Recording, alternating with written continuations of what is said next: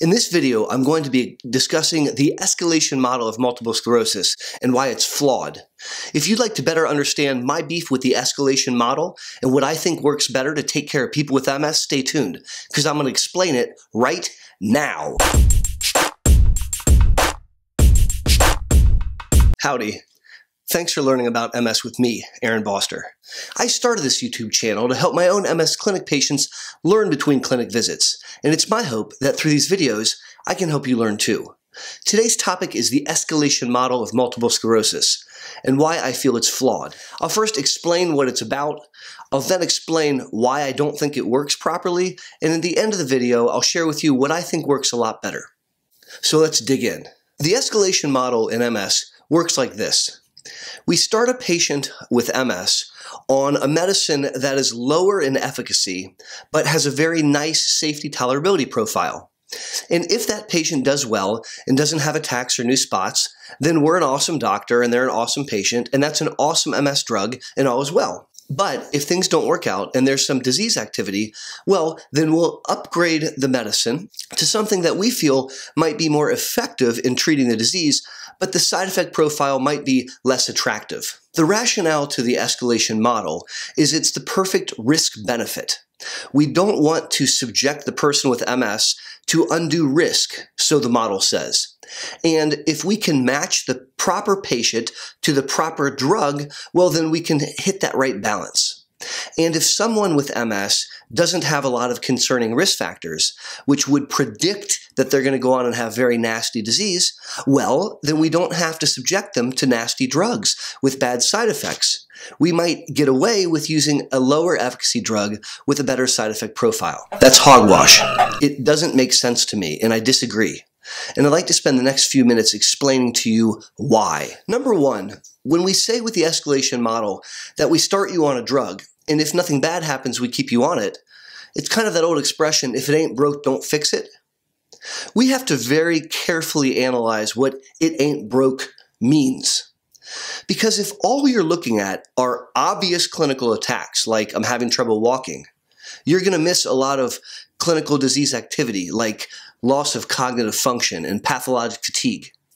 If you're only looking at nude spots on the MRI, you might completely miss accelerated brain atrophy.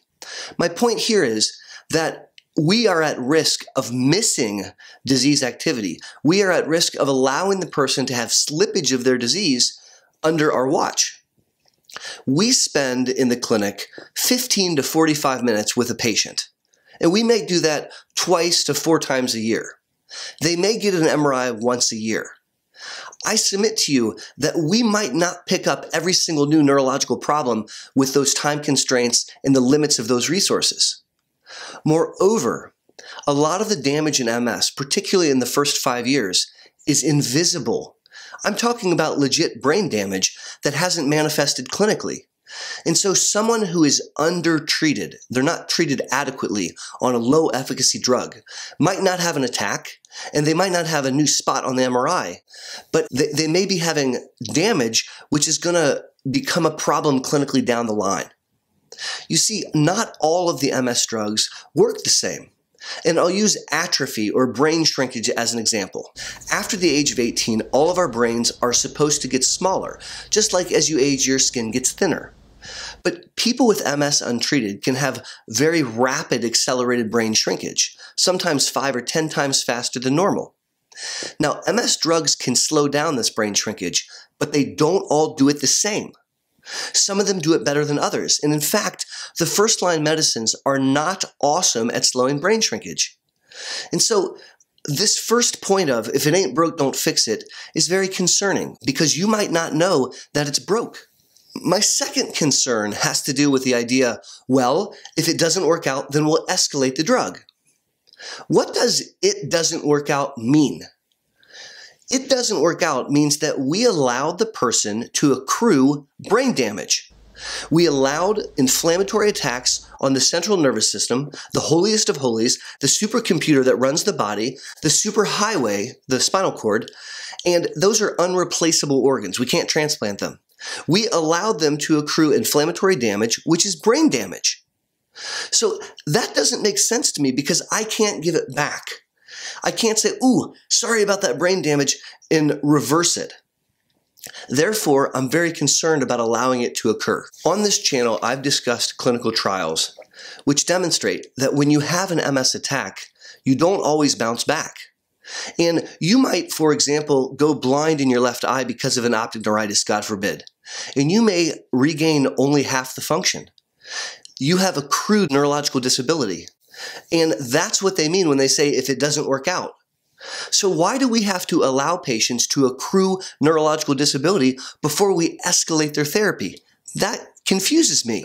Problem number three has to do with the use of risk factors. Now, a very common way of practicing MS, and we all do this, I do this, is to look at risk factors for aggressive disease. There are certain characteristics of a given human being which would predispose them to be more likely to have a bad time, to have a rapid disease course, or a steeper decline in function. They're not going to do as well. And if you identify risk factors, that might be rationale for escalating faster or starting with a more effective therapy. For example, you might see an archetypical African American male with spinal cord disease who incompletely recovered from an attack and was left with neurological deficits. He's at higher risk long term of having a worse disease course than an archetypical Caucasian woman who had a very small burden of disease on her MRI, no spinal cord lesions, had a sensory attack, and fully recovered without steroids.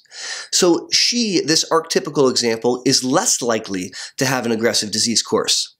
And so the, the common way of thinking is to say we might put the uh, higher risk patient on a higher risk drug. Higher risk meaning maybe more efficacious, but more risk uh, from side effects or tolerability or safety. And we might put the person who has a lower risk on a less effective drug, but, ha- but that way we don't subject them to undue side effects. Well, wait a second. What if the person who has mild risk factors doesn't want to have disease activity? What if the person with mild disease uh, risk factors doesn't want any brain damage? Why are they not eligible to be considered or to discuss highly effective therapies? Number four, I've heard people say that we should use lower efficacy medicines first because they're less expensive, and that the newer, more efficacious medicines are more expensive. And that's not always true. You might be amazed in the American markets to look at the price of the shots. They are the same price as the pills, and in fact, they're more expensive than some of the infusions. And so it is a fallacy to assume that by escalating, you're saving money. This doesn't even get into the cost of allowing someone to become disabled. By using a low efficacy medicine early on, if that person goes on to develop disability, that costs the human, their family, and our, our community a tremendous amount. And number five, the tenet that the more effective drugs are more dangerous and have a worse side effect profile isn't exactly true. It's leaving out the fact that by practicing good medicine, by being a good neurologist, we can mitigate some of that risk.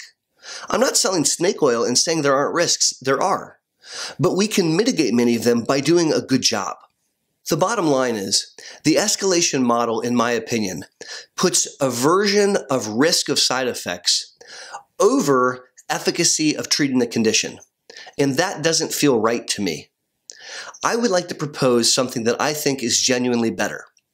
Instead of embracing an escalation model, why don't MS neurologists do the following? Ask the patient to go on the single most effective drug as early as possible that they're comfortable with. Now, the problem is this takes work. But if I explain to you the most effective drug that you're eligible for, and I tell you the good, the bad, and the ugly, and you agree to take it, we're done. And we've now grappled with the risk benefit for you. We've kept the risk of the drug inside the context of the risk of the disease.